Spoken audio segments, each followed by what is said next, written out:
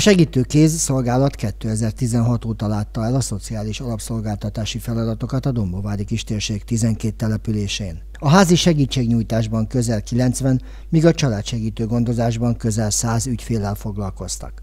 Január 1-ével a és a térségi feladatokat egy közös szervezet látja majd el. 2021. január 1-től annyiban változik a helyzet, hogy a segítőkéz alapszolgáltató intézmény beolvad a Dombovári Egyesített Humán Szolgáltató Intézménybe.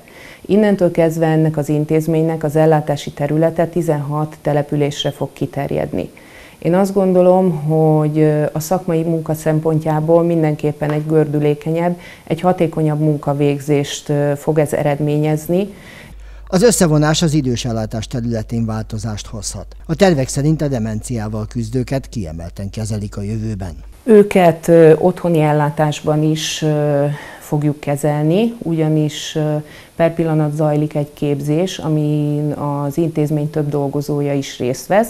Ez kimondottan egy demencia képzés, illetve célul tűztük ki egy demens idős klubnak a működtetését.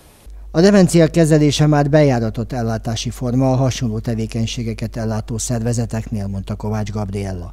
Az, hogyha ez Dombováron is megvalósul, a saját ellátási palettánk bővülését jelenti, mondja.